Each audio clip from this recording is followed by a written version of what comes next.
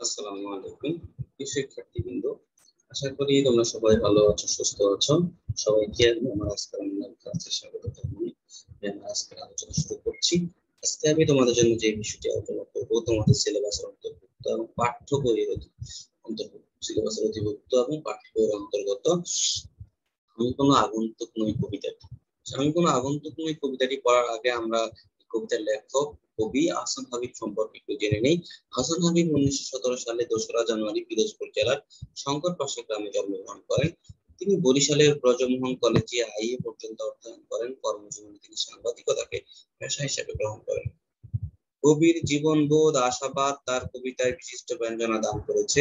তার কবিতায় স্নিগ্ধতা, পাঠক চিত্তে এক মধুর আবেশ সৃষ্টি করে। তার কবিতা প্রকৃতির প্রতি তার যে আকর্ষণ, সে আকর্ষণগুলোর স্নিগ্ধতা, যে আকর্ষণ প্রকৃতির প্রতি তার যে আকর্ষণ, সে আকর্ষণগুলো তিনি কবিতায় ফুটে ওঠেন। সে প্রকৃতির যে স্নিগ্ধতা, পাঠকের পাঠক চিত্তে পাঠকের মনকে এক মধুর আবেশে, মধুর মতো করে আকৃষ্ট করে।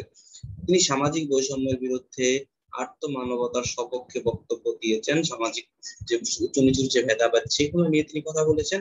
আবার আত্ম মানবতার সেবায় মানবতার সেবায় মানুষের পাশে দাঁড়ানোর সপক্ষে তিনি বক্তব্য রেখেছেন।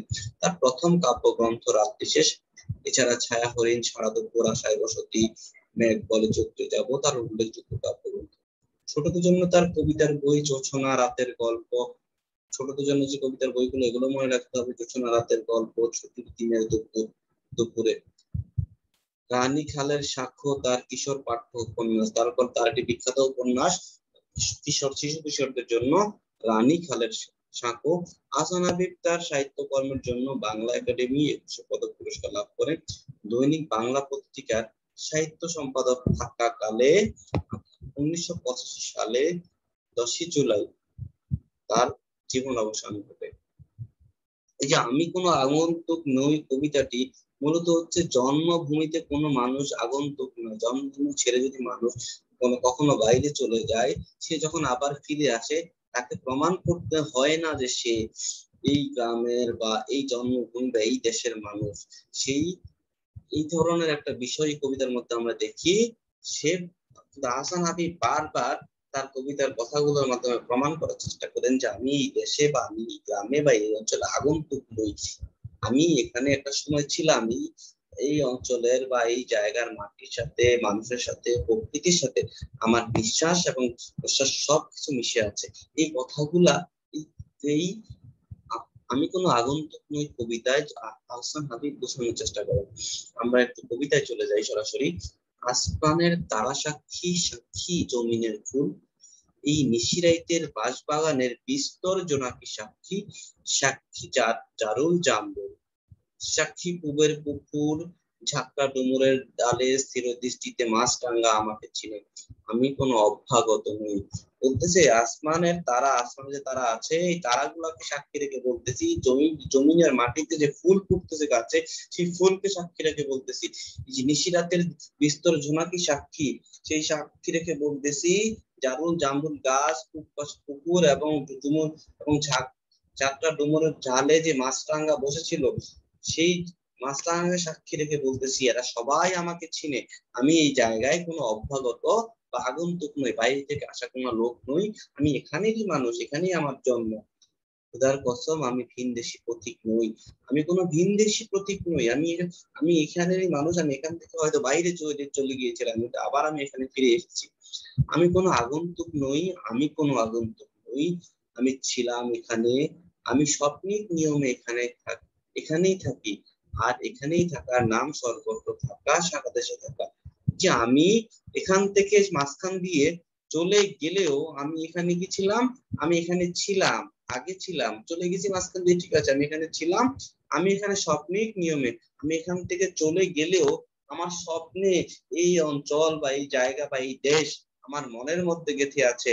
আমি স্বপ্নের মধ্যে, অর্থাৎ আমি স্বপ্নের নিয়ে এখানে থাকি, আমার, আমি এখানে থেকে দূরে চলে গেলেও আমার মনটা এখানেই পড়েছিল এবং আমার স্বপ্নে শয়নে এবং স্বপ্নে স্বপ্নে আমার এই অঞ্চল বা আমার নিজের এলাকা বা আমার নিজের দেশ আমার মনের মধ্যে বা আমার চোখের সামনে হাসতো আর এই জায়গায় থাকা মানে হচ্ছে সর্বত্র থাকা। আমি আমার নিজের এলাকায় থাকা বা নিজের অঞ্চলে থাকা মানে সর্বত্র থাকা এবং সারা দেশে থাকা।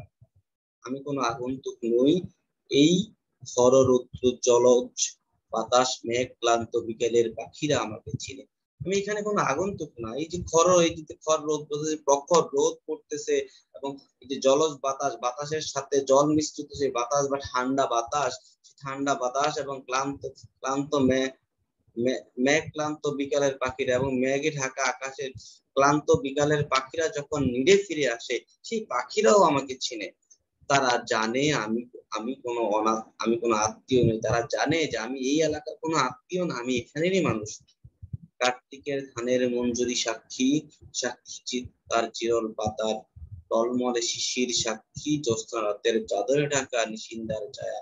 বলতেছে যে, এই যে কার্তিক মাসে যে ধান পাকে, সেই ধানের যে ধান বের হয়, সে ধানের ধানটা যখন বের হয়, যেখানে ধানটা ধরে, সেই ধানের মঞ্জুরির সাক্ষী, অর্থাৎ ধানের যে প্রথমে যে ধান বের হয় ফুলের মতো করে সুন্দর ভাবে সেই ধানের মঞ্জুরিটা সাক্ষী এবং সেই ধান গাছের চিরল পাতা সাক্ষী এবং সেই পাতায় জমা টলমলে শিশির, যে পাতায় যে শিশির জন্মে সেই টলমলে শিশির সাক্ষী এবং সাক্ষী জ্যোৎস্না, জ্যোৎস্নার চাদরে ঢাকা, অর্থাৎ জ্যোৎস্নার আলোয় ঢাকা, যে নিশিন্দা গাছ, সেই নিশিন্দা গাছের মাটিতে যে চাঁদের আলোয় নিশিন্দা গাছের ছায়াটা যে মাটিতে পড়ছে, সেই নিশিন্দা গাছের ছায়ার সাক্ষী। অকাল বার্ধক্যের নত কদমালি তার ক্লান্ত চোখের আধার আমি চিনি। আমি তার চিরচনা স্বজনের জন্য। আমি দেখো এখন বলতেছে যে, অকাল পার্থক্যের যে বয়স কদমালি এখন অকালে বৃদ্ধ হয়ে যাওয়া সে কদমালি তার ক্লান্ত চোখের আধার আমি চিনি। সে তার যে ক্লান্ত চোখে এখন আধার নেমে আসে, সেই আধার আমি চিনি। আমি তার চিরচনা স্বজন, আমি তার চিরচনা একজন মানুষ। আমি আমি জমিলার মার, শূন্য খাখা রান্না করে শুকনো থালা সব চিনি। এই যে জামিলার মা নামে একজন মহিলা ছিল, মহিলা আছে তার যে শূন্য রান্নাঘর, খাবারের অভাবে তার রান্না করে চুলা জ্বলতেছে না, শুকনো এবং তার থালাগুলা সব শুকনো, কখনো সেই থালাগুলোর মধ্যে খাবার উঠতেছে না। সেই শুকনো থালা সবকিছু আমরা চিনি এবং সেই জামিলার মাও আমাকে চিনে, এমনকি তার রান্নাঘরের থালা থালা বাটি গুলা থালা প্লেট গুলাও আমাকে চিনে। হাত রাখো বৈঠায় নাঙ্গলে। দেখো, আমার হাতের স্পর্শ লেগে আছে কেমন গভীর।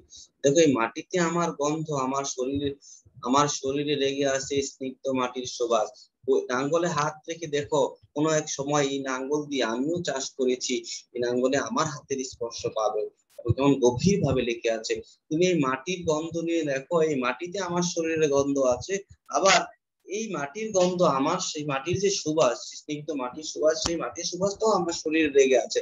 তোমরা সেই গন্ধটাও দেখে নিতে পারো। আমাকে বিশ্বাস করো, আমি কোনো আগন্তুক নই।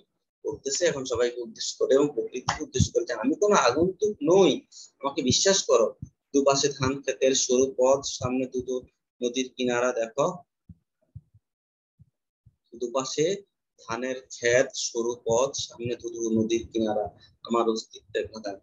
আমি এই উধাও নদীর মুগ্ধ এক অবোধ বালক বলতেছে যে, দুই পাশে ধানের ক্ষেত দেখতেছো? তার পাশে যে সৌর পথ দুই ধানের ক্ষেতের মাঝখান দিয়ে তার সামনে ধুধু নদীর কিনারায় মাঠ পাড়ালে যে খোলা নদীর কিনারা বা ধুধু ধুধু করতেছে জনশূন্য যে নদীর কিনারা, এই নদীর কিনারা আমার অস্তিত্বে গাদা আমি এক উধাও নদীর মুগ্ধ আমি এই যে নদীটা এখন উদাও হয়ে গেছে, ফসলের জমির পাশে নদীটা এই নদীতে, এই নদীর মুগ্ধ আগে এই নদীকে দেখা, এই নদী দেখে মুগ্ধ হওয়া বা আকৃষ্ট হওয়া এক অবধ বালক, এই নদীর সৌন্দর্য দেখে আমি আকৃষ্ট হওয়া এক অবধ বালক। একটা সময় এই যে বিষয়গুলো, এই প্রকৃতির এই দৃশ্যগুলো আমার সাথে মিশেছিল আমি তোমাদের এলাকায়। আগন্তুক বা এই এলাকায় আমি কোনো আগন্তুক নই। তোমরা এই কবিতাটা পড়ার পাশা পড়ার আগে এই শব্দার্থ টিকাগুলা পড়বে যাতে কবিতাটা ভালো করে বুঝো ধানের মন যদি ধানের শীষ বা তারপরে হচ্ছে অভাবে জমিদার মা এগুলা যে ব্যাখ্যা গুলা দেয়া আছে ব্যাখ্যা গুলা তোমরা খুব ভালোভাবে পড়বে। তারপরে পাঠ পরিচিতি পড়বে, তারপরে তোমরা হচ্ছে কবিতাটা পড়বে। কবিতার মধ্যে দেয়া আছে, দেখো, কি দেয়া আছে এখানে? পাঠ পরিস্থিতির মধ্যে খুব সুন্দর ভাবে দেয়া আছে যে তিনি কোন আগন্তুক নন, তিনি আসমানের জমিনের ফুল যেমনকি মাস্টাঙ্গাকে চিনেন, তারাও তাকে চিনে যে কথাগুলো আমি কবিতাকে বলেছি, সেই বিষয়গুলো তোমরা এখানে পাবে। সঙ্গে তার জীবন বাধায় এই গ্রাম হচ্ছে তার অস্তিত্ব এই হচ্ছে মানব জীবন জন্মভূমির সঙ্গে মানুষের সম্পর্ক। এখানে শুধুমাত্র আহসান হাবিব তার গ্রাম বা তার অঞ্চলকে বোঝানোর চেষ্টা করেন নাই। তিনি গ্রাম এবং তার এলাকা দিয়ে তিনি পুরা দেশকে, দেশের মানুষকে বোঝাতে চেয়েছেন। এই দেশ আমার অস্তিত্বে মিশে আছে। এই এই দেশের মাটি আমার অস্তিত্বে মিশে আছে, এই কথাগুলো তিনি বোঝানোর চেষ্টা করছেন। আশা করি তোমরা কবিতাটি শোনার পরে তোমরা ভালো করে বুঝতে পারবে। যদি না বুঝো, পরবর্তীতে তোমরা আমার আমাকে জুম ক্লাসে প্রশ্ন করবে আমি তোমাদের সেই প্রশ্নের উত্তর দেওয়ার চেষ্টা করব এবং তোমাদেরকে পুনরায় আবার কবিতাটি বুঝিয়ে দেওয়ার চেষ্টা করব। সেই পর্যন্ত ভালো থাকবে।